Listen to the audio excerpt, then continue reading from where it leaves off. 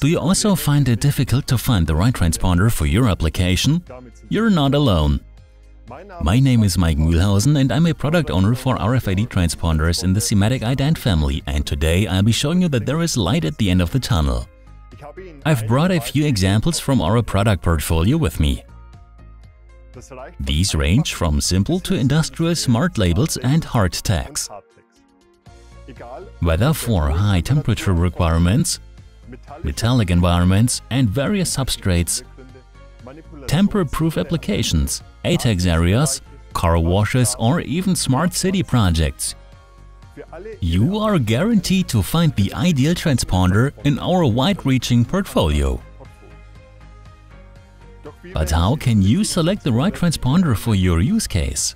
After all, the sheer number of transponders is truly overwhelming. In reality, it's not that difficult if you can answer the following 7 questions.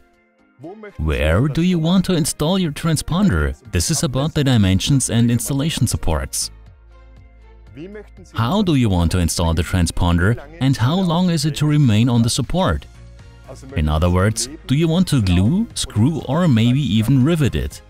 Will special adhesives be required, such as for low-energy plastics or washing processes? What information do you want to save on the transponder? This is to ensure that the right storage capacity is chosen. For this, not only the size of the serial number is important, but also whether the transponder needs a user memory and what information you want to leave on it.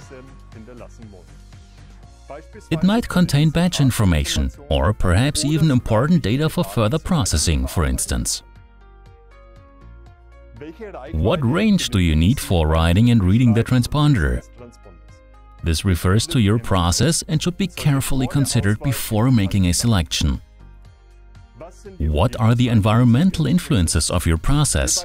These might be moisture or the effects of very high temperatures, like in the metalworking industry, or even recurring and cyclical temperature profiles, like in paint plants for identifying paint product carriers.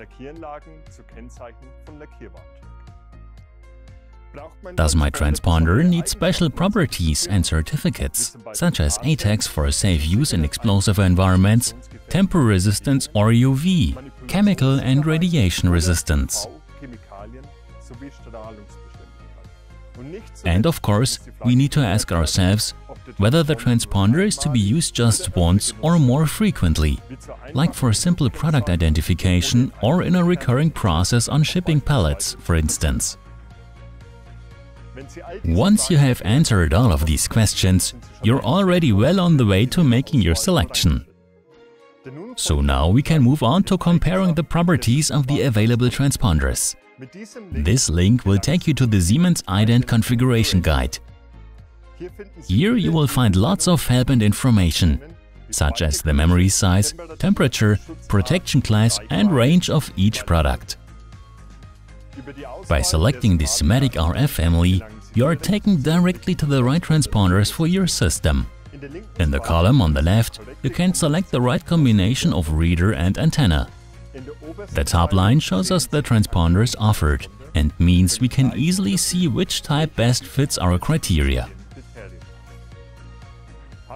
Once you have identified a suitable candidate, you can use the specified order number to find it in the industry mall and download the detailed datasheet or even trigger an order.